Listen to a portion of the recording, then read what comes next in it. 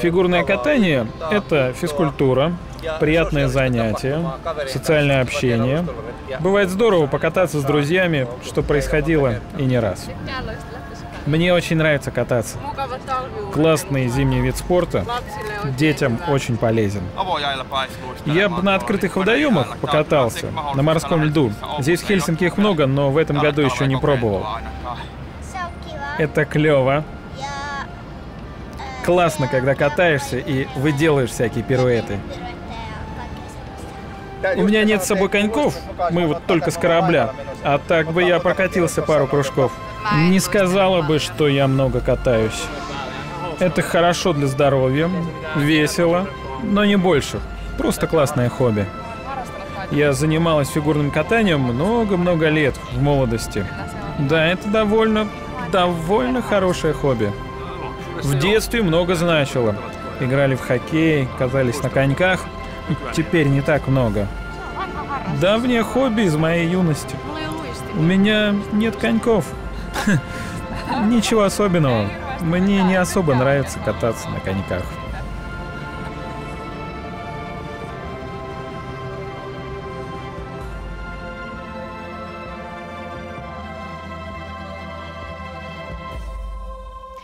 Здравствуйте, дорогие друзья! У обычного человека есть пять чувств. Это зрение, слух, осязание, обоняние, вкус. Некоторые обладают интуицией. Но есть отдельные люди, у которых есть особенное чувство. Это чувство льда. И сегодня в программе «Граница» мы попытаемся разобраться, что же это такое за чувство. И в этом нам помогут две мои замечательные гости. Это эксперт фигурного катания и тренер с практически 30-летним стажем Ольга Баранова и Алиса Дрей, четырехкратная чемпионка Финляндии по фигурному катанию, участница многочисленных международных чемпионатов соревнований и тренер в настоящий момент. Здравствуйте. Очень рада видеть вас в нашей студии. Что такое чувство льда? Расскажите. Ну, для меня чувство льда – это, наверное, то чувство, которое я впитала буквально с молоком матери, потому что кататься я начала задолго до того, как я родилась. Поскольку моя мама тренер по фигурному катанию, то, по крайней мере, первые шаги, наверное, я сделала на льду, а не на полу. И это то чувство, когда выходишь на лед и чувствуешь себя дома. Ну, для меня, наверное, это самые первые шаги, когда папа привел меня в э, школу фигурного катания, когда мне было пять лет. И с того момента, в общем-то, начался путь до сегодняшнего дня.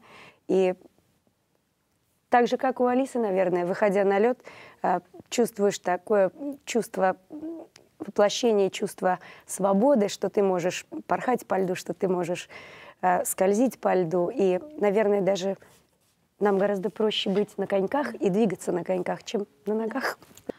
А, первые шаги, наверное, я уже не помню, но с самого начала это было осмысленное движение к цели, движение к медалям.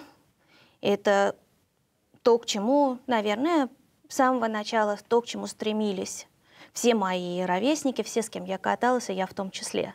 Ну, наверное, я до этого очень много, я была очень активная в детстве э, ребенок, и э, каталась, даже помню, даже на двухполозных коньках тогда еще катались.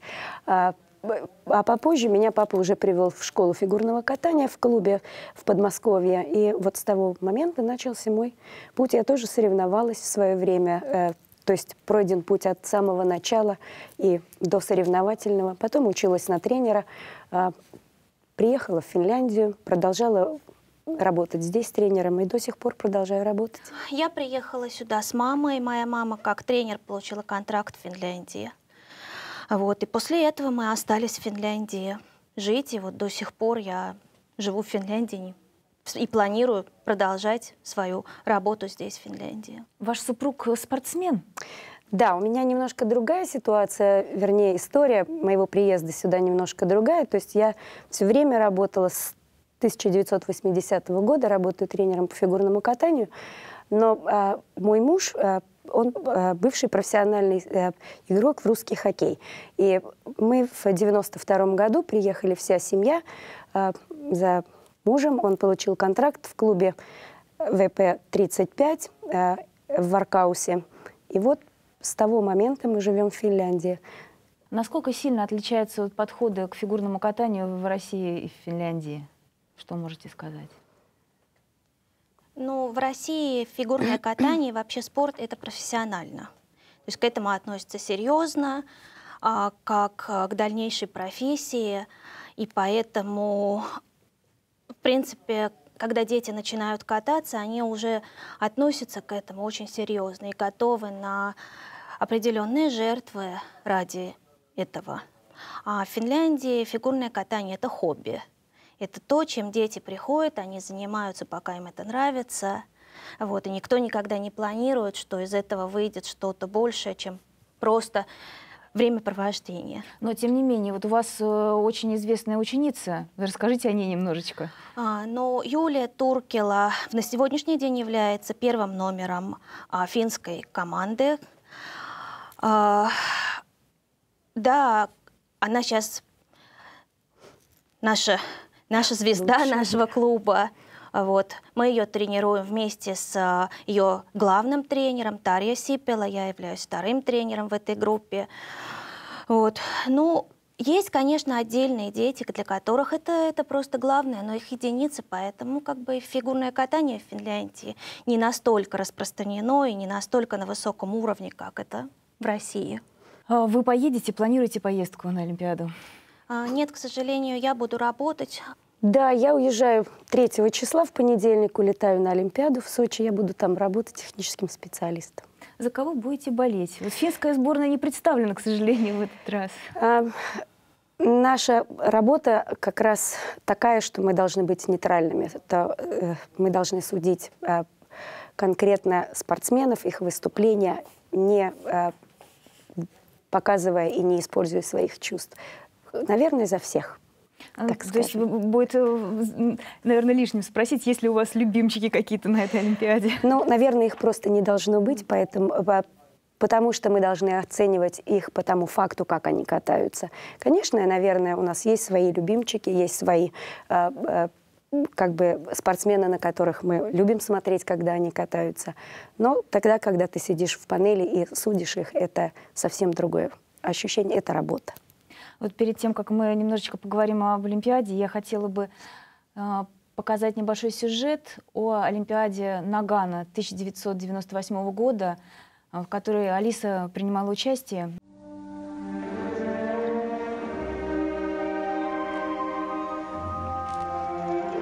Добраться, で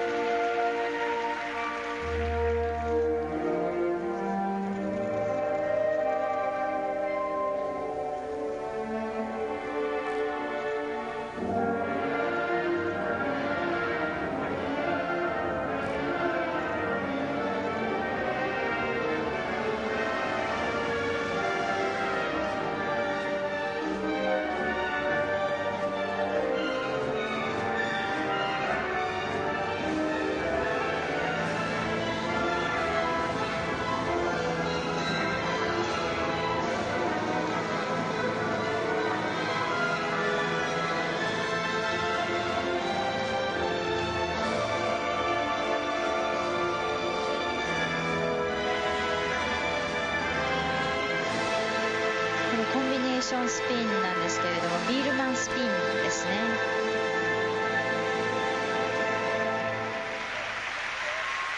最後は得意のビールマンスピン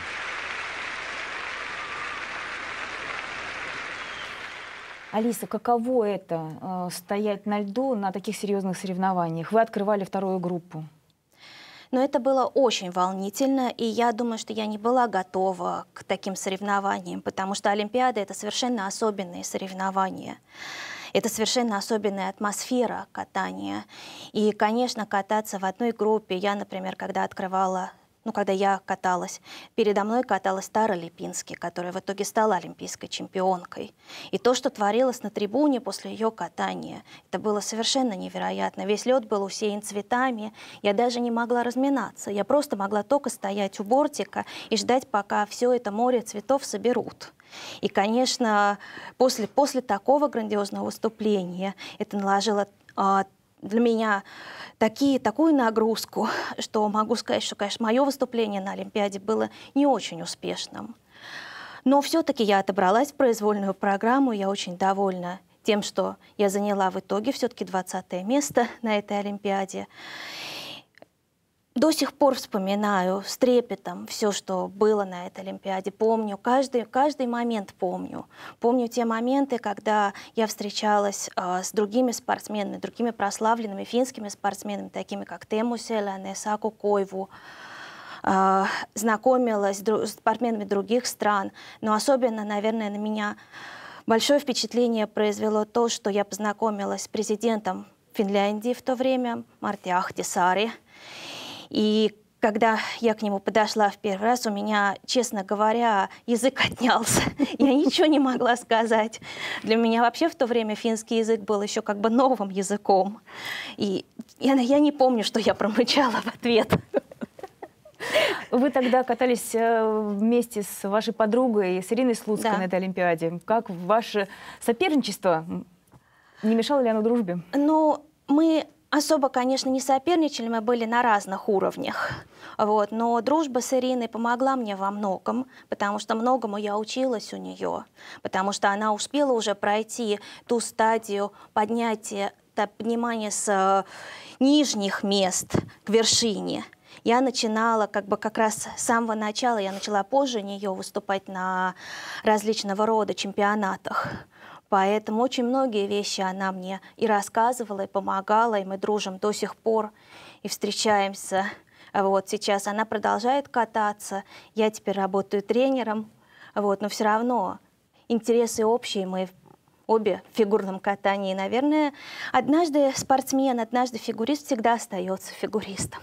Хотел показать еще один небольшой сюжет с вашим выступлением. Это соревнование, которое проходит во Франции среди лучших фигуристов мира.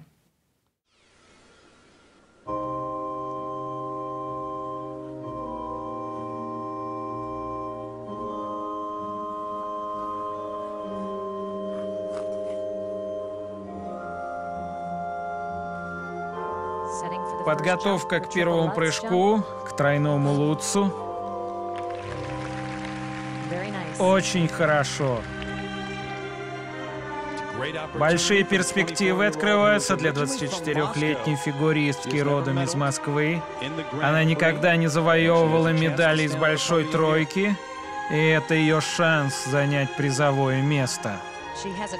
Тройной тулуп. Первый. Комбинация из двух тройных тулупов. Очень уверенно.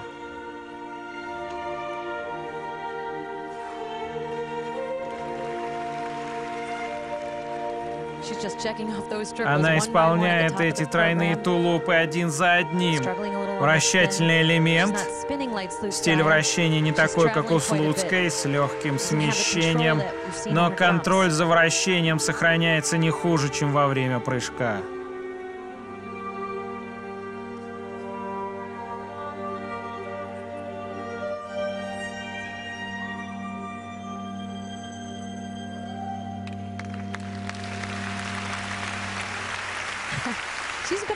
Смотрите, она приятно удивлена сама собой. Никто не ожидал здесь такого шоу.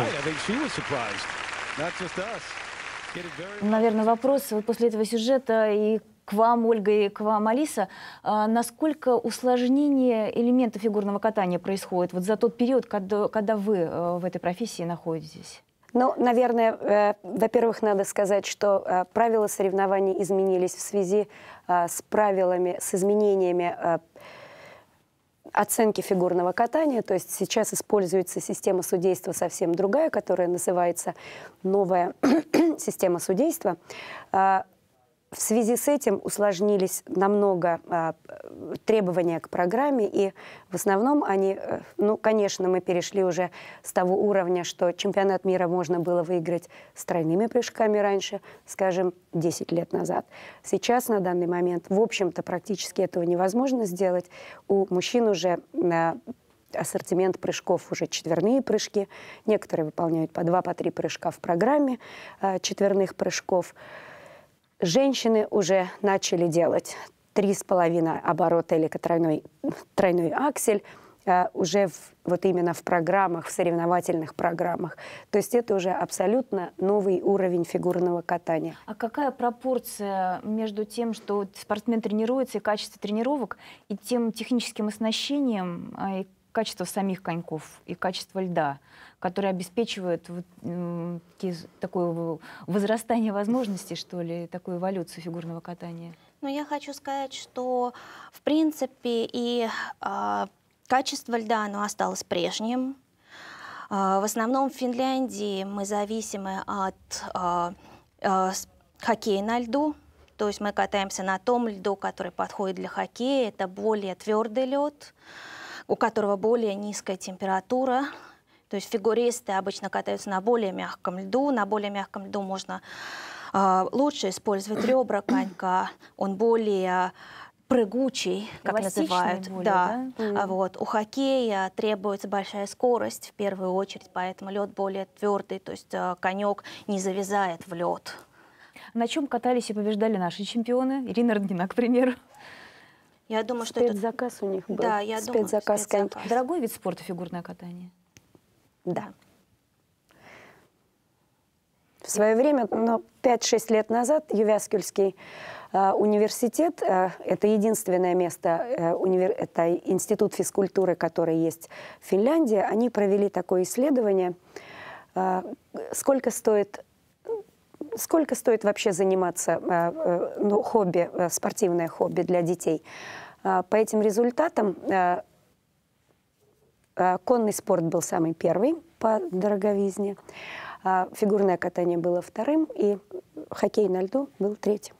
Как с травмоопасностью, и вот вы тренируете детишек, как вы с этим справляетесь? Вам доверяется жизни? Ну, это, конечно, это большая, во-первых, ответственность, э, но я считаю, что дети начинают кататься с очень молодого возраста, и они постепенно учатся кататься, то есть э, так же, как они учатся сначала ползать, потом стоять, потом ходить, потом бегать. Вот. ну, потом они начинают сначала ходить по льду, иногда ползать по льду, вот, а потом уже через несколько лет они уже начинают делать первые, первые свои движения. Прежде чем мы поговорим о особенностях тренерской работы, я хотела бы прерваться на небольшой сюжет э, с одного из катков, который расположен около города Хельсинки. Вот, и после этого мы вернемся в студию. kunnon potku ja pitkät, pitkät, pitkät kädet vielä. Kurota, kurota, kurota käsiä. Joo. Ufup, ufup. Muistatko, että siellä tää kädet kurotetaan, kurotetaan eteenpäin. Ja, ja katse vielä eteenpäin. Ja kunnolla alas sieltä. Ja kunnolla, kunnolla, kunnolla. Joo, katse eteenpäin. То есть вот эта группа, мы сейчас готовимся ко вторым отборочным соревнованиям. Э, Наши э, дебютанты здесь и новисы катаются. Э, У них уже у двоих девочек и у мальчиков есть места в золотом финале по первым отборочным соревнованиям. А Сейчас будем продолжать на вторых отборочных соревнованиях бороться за следующие а, места в финалах. То есть э, очень хороший результат пока на данный момент. То есть очень, ну, тренера все довольны этим. Okei, okei, lähdetään nyt. Omat paikat ja meidän yhdistelmäpiruetti. Heti jatketaan. Yhdistelmäpiruetti, vaaka, istuma ja kiihdytyspiruetti. Jep, muistatte? No niin, eli punaviivalle ja siniviivalle paikat. Lähdetään sieltä kolmosesta. Valsi kolmonen ja sieltä lähtee.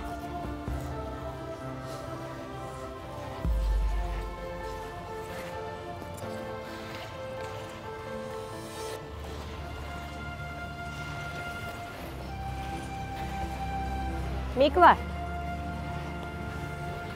vähän aikaisemmin siellä tämä lutsin jälke ja nyt sulla on tämä asento, eli ihan tää tiukaksi. Taas purista jalat ja aktivoi pakaralihas. Jep, niin. Taas yläkroppa on vähän laiska. Ja kädet ojenna, ojenna, kantaa. Вот мы готовимся всю неделю, ну, вернее, уже давно готовимся, но у нас построена вся вот эта тренировочная неделя именно к подготовке к этим соревнованиям. Okei, doki. Hyvä. Lähdetään kaikki elementit läpi. Aloitetaan piruetista kaksi kertaa jokainen elementti oikeassa järjestyksessä siirtymisen kanssa ja sitten tämä äh, hyppyihin. Kaksi kertaa myös. Äh, vappis.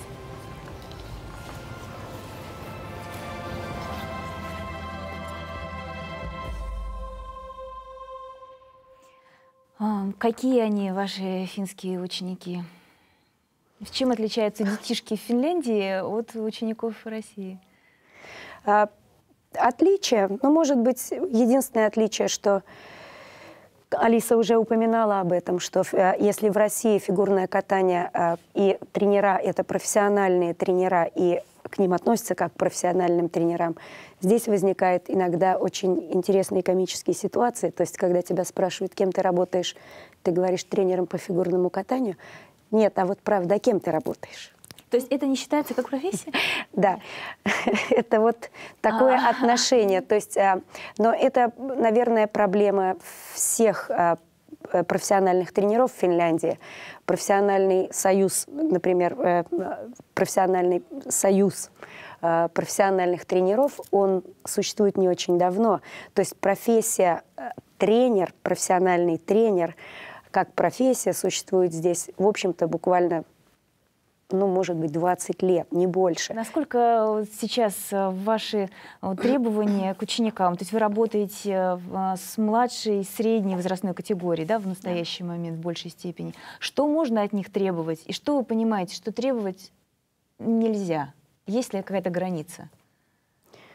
Ну, наверное, это зависит от их возраста и от их э, уровня, на котором они катаются. То есть по техническим э, требованиям э, к, к элементам, конечно, мы знаем, это на каком уровне они сейчас катаются. Поднимаем планку, чтобы они делали больше, но прекрасно понимаем, что если ребенок, то есть спортсмен делает на данном уровне, например, двойные прыжки, мы не можем требовать, чтобы он сразу прыгал нам четверные прыжки. У нас есть определенные э, программа тренировок, которую мы э, выстраиваем для каждого спортсмена. Алиса, вы часть своей жизни вы были ученицей легендарного тренера Татьяны Анатольевны Тарасовой. Какая она? Татьяна Тренер Анатольевна Тарасова. очень требовательный человек на льду, которая не прощала нам ни одной ошибки и была очень с нами строгой. Но с другой стороны, я, например, каталась у нее год. а, В то время она преподавала в Соединенных Штатах Америки. И я жила у нее дома, наравне с несколькими другими ее учениками. И дома она абсолютно менялась. Она была нам действительно как мама. Она готовила нам еду. Она заботилась о том, чтобы у нас все было в доме, так как это должно быть в доме, а не просто то, что как гостиница. Вот. Мое время с ней было очень хорошим, несмотря на то, что для меня оно было, как для спортсменки, очень тяжелым, потому что я в первый раз попала в такую атмосферу. Во-первых, среди ее учеников в то время был Алексей Ягудин, который уже был чемпионом мира и готовился к Олимпиаде, и серьезно готовился ее выиграть. А среди ее учеников были итальянский дуэт Барбара Фузаполи, Маурицио Маргалио. Они тоже готовились к Олимпиаде. То есть я в первый раз попала и каталась на льду с такими прославленными фигуристами. И это было сложно, потому что это накладывало на меня определенную ответственность, определенный уровень, которому я должна была соответствовать. Плюс, конечно, я попала в первый раз а, к такому тренеру, которого а, я боготворила. И это, это тоже было непросто. И опять же, всегда находились, а, находилось что-то, за что меня нужно было поругать. Вот. И, конечно, это действительно это так и должно быть. Но мне казалось, что я вот, вот совсем ничего не умею, ничего не могу по сравнению со всеми другими. И это, конечно, было очень, очень непросто. Но это было очень хорошее время, оно мне дало очень много в дальнейшем. Я научилась а, бороться за себя, научилась тренироваться по-другому, тренироваться профессионально, так как это должно быть, и требовать от себя постоянно максимума. И каждый раз, когда я приходила к этому максимуму, этот максимум возрастал. Какие они последние минуты перед выходом на лед? А, знаете, наверное, они самые спокойные для меня были, когда я уже понимала, что, в принципе, ничего не изменится. Уже вот я готова, вот я здесь. И Наверное, да, это, наверное, были самые для меня спокойные минуты, когда уже не надо, уже знаешь, что вот начальная позиция, вот туда ты идешь, встаешь, музыка начинает играть, и вместе с музыкой ты делаешь обычный э, ритуал, который, в принципе, мы тренируем каждый день. Ну, а там уже как пойдет. Как говорится, лед скользкий. Какие они последние минуты перед выходом на лед у маленьких ваших учеников, вот, перед соревнованиями, которые важны для них? Ну, наверное, у детей они тоже вот а, привыкают к этой рутине, то есть мы их готовим, мы их тренируем для этого. Они проходят очень много соревнований. А, от тренера зависит тоже очень много. Это если тренер очень э, Напряженный? Напряженный, да. Эта напряженность передается э, и спортсменам. Но в основном, конечно, тренер уже знает, как себя вести, как подготовить своих спортсменов. А, поэтому мы стараемся быть очень э, спокойными перед выходом, перед выводом на старт. И, наверное, вот используем как раз те, те же самые э, те же самые, ну, как бы э, способы для того, чтобы успокоить их, что сейчас ты пойдешь катать программу, которую ты уже сто лет, сто раз прокатал, ты уже все умеешь, ты уже все можешь. То есть мы их просто настраиваем чисто психологически. А вы представляете здесь Финляндию, российскую, русскую школу фигурного катания. В чем для вас основной принцип, что ли, этой школы? Что для вас эта школа? Ну, наверное, основной принцип, конечно, а, российской школы фигурного катания – это желание занять место. То есть а, это, это для нас, а, мы пытаемся также привить это нашим ученикам, что это не просто хобби, что, это, что у них должно быть желание выходить и побеждать. Я бы, наверное, сказала, что это профессионализм и профессиональное отношение к той работе, которую ты делаешь.